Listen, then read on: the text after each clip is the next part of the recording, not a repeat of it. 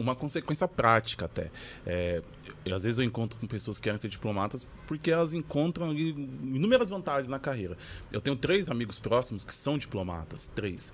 Dois perderam o casamento. Eles falaram, não dá para ser casado porque a mulher, ela fica estressada porque ela vai ficar mudando de país. Ele falou, e o pior cenário é dos filhos. Ele falou, pô, você tá, você tá aqui educando seu filho numa língua portuguesa, você depois tem que ir para um lugar numa língua inglesa, depois tá num lugar numa língua... E ele fica mudando de escola, mudando de país. Ele falou, cara, eu não consigo carregar minha família comigo. Dois separaram e tem um que não separou, mas a mulher consegue fazer o home office e tá com ele. Ou seja, é uma profissão que tem muitos percalços, muito bonita, claro. É. É. é enorme. E outra, requer um, um, conhecimento. Eu acho muito bonito. É, muito. É. Essa carreira eu acho muito é, foda. Cara, mas tem esses, esses, pequenos percalços é, aí. na verdade, toda profissão ela tem seus altos e baixos, né? É, tipo, todas. É, é. Tem seus ônus e seus bônus. Se você pegar a carreira de um médico também, é cheia de ônus e bônus. É. Aqui a intenção foi só mesmo mostrar Sim. porque as pessoas elas olham essa carreira só vê os bônus. Elas falam, é. ah, assim como a minha carreira, as pessoas só vê os bônus. Eu falo, gente, toma, tem que tomar decisão amadurecida. Você tem Sim. que entender, tem que pesquisar. Né? Agora eu vou pegar aqui o gancho de uma, de uma situação que para mim aqui é muito sensível. Eu não sei se o Anderson, nunca conversei com o Anderson sobre esse assunto. É, eu tenho uma predileção, eu gosto de todo mundo que vem aqui, quanto a isso não tenho, mas eu tenho uma predileção por entrevistar mulheres. Por quê? Ah. É, por quê? É, a nível Brasil, claro que há exceções, há cargos e cargos, mas a nível Brasil como um todo, a maioria dos aprovados são homens. Eu vi, eu vi essa estatística. E a maioria da população brasileira é mulher. Eu não, não, óbvio, e não é, não tem uma questão que eu vi com inteligência. Homem não é mais inteligente que mulher. Tem uma questão muito a ver, acho que posso estar errado. E se você pensar de outra forma, claro, você, não tem problema. Tem uma questão muito a ver com a questão social. A mulher tem outras atribuições Sim. que os homens não têm. E você era mãe, cuidava da sua avó.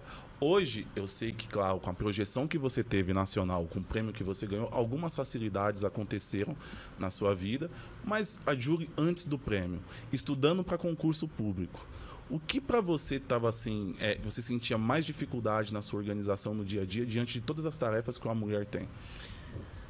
É a mesma, que eu, infelizmente ou felizmente, é, não delego, que é, é estar acompanhando a agenda da minha filha de terapia. Então, assim, eu digo infelizmente porque é uma rotina muito puxada, tanto para mim quanto para ela. E digo felizmente porque, assim, eu não abro mão de acompanhá-la na, nas terapias. Maria é uma criança diagnosticada dentro do, do transtorno do espectro autista e desde os dois anos de idade a gente tem uma obrigação de estar tá levando ela para fazer terapias de algum modo, isso quebra é, o meu formato de estudo tradicional, de sentar numa cadeira, no quarto, me fechar e ter que estudar. Então, eu sou uma concurseira atípica, porque eu sou uma mãe atípica. Por isso que eu me adaptei a estudar em situações de alto estresse.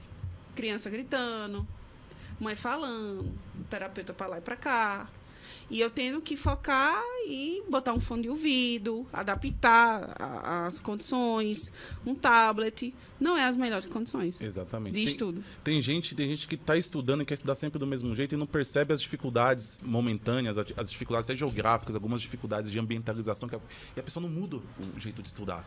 E aí ela fica estudando todos os dias do jeito errado para aquela realidade dela. E você conseguiu perceber isso. Eu achei interessante. E aí eu comecei a adaptar para eu poder continuar estudando. Senão, não ia. Se eu ficasse, ah, só vou estudar quando eu chegar. Não, botei ela no carro.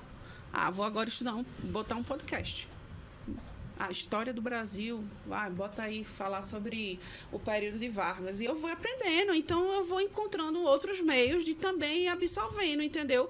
E que são tão bons quanto. Então, meus professores eles têm canais de podcast, aí eu coloco, escuto, ou senão eu boto até as aulas que eles gravaram para ir no, no carro, no som do carro, para eu ir ouvindo, entendeu?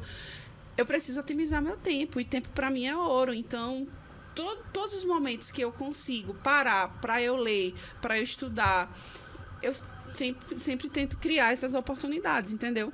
Porque eu sei que se eu não fizer dessa forma, é, eu vou perder tempo eu não vou conseguir estudar como os outros que estão estudando. Então, na hora que eu estou é, estudando por, um podcast, ou porque eu coloco a aula do professor em reprodução de áudio no meu celular e eu estou caminhando, que não sei o que lá, eu vou estabelecendo meios de absorção de conteúdo também, entendeu?